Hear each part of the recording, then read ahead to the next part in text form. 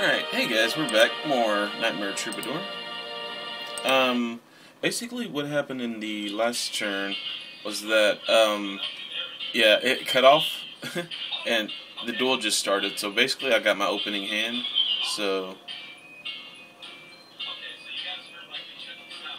Chucky Sound music. So anyway, so now let's get back to the duel, so I'm just gonna draw.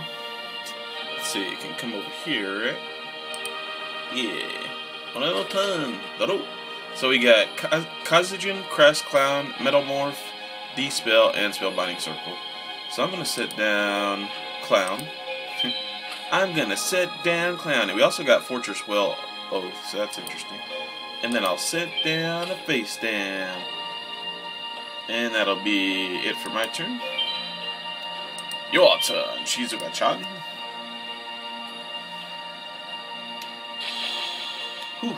Yeah, this cut fest is going to be like really. It might even be 14 parts for our 14th episode because, uh, yeah, I forgot how slow Nightmare Troubadour plays.